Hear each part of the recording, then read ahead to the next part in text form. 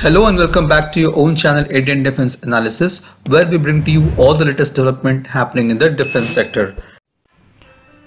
Considering the geography of India, the armed forces have diverse problems and challenges to handle. Indian Army is perhaps the only army in the world which is permanently deployed on the world's highest inaccessible and hostile battlefields such as Siachen and Ladakh.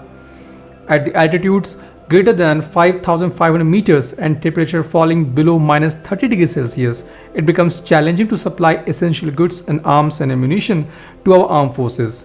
The logistics becomes risky and time consuming in these areas. Therefore, it becomes extremely important for India to develop helicopter drones to support Indian Army's high altitude military logistics and provide last mile connectivity.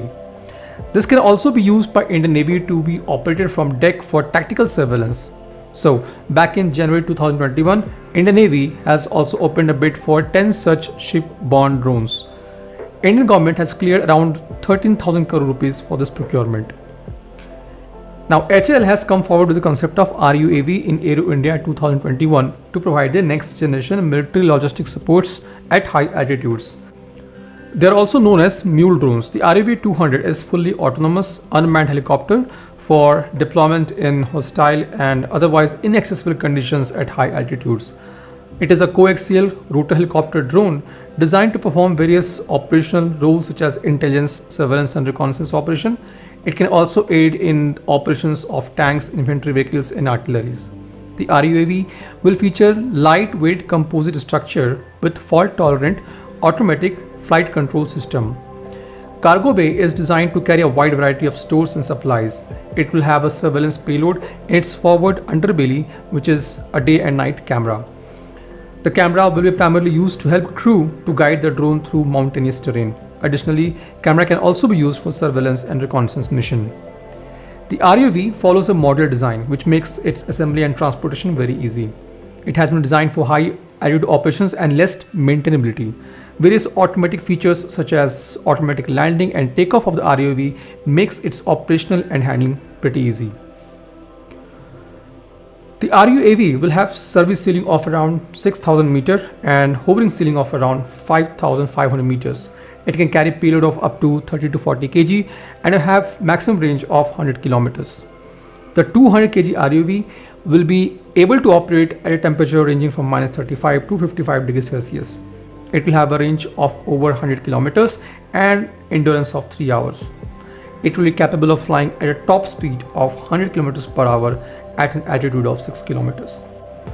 The RUAV will be powered by a Wankel engine which is a type of internal combustion engine using an eccentric rotary mechanism to convert pressure into rotating motion. Now as per the latest developmental updates, HAL has started procuring various parts for the UAV rotor system. The UAV rotor system consists of main rotor blades, main rotor head and upper control system and tail rotor system. HAL is also procuring autopilot system which will consist of a compatible ground control station for controlling the RUAV and its payload. It will feature a data link for communication between the RUAV and its ground control station. The RUAV is under the final stage of assembly and after completing its final assembly, the system will undergo ground test and then it will be taken for the flight test. The first flight of RUAV was expected between 2021 and early 2022, which we have not witnessed. Considering the present progress, we might see RUAV in action by the end of this year. This was today's update. Please let us know what is your views about these in comment section. Feel free to post your comments and suggestions about any topic related to defense sector on which you want to hear from us. With this, I would like to say goodbye and Jai Hind friends. Please like and subscribe our video if you have not done already. We'll be soon back with more interesting and amazing development happening in defense sector.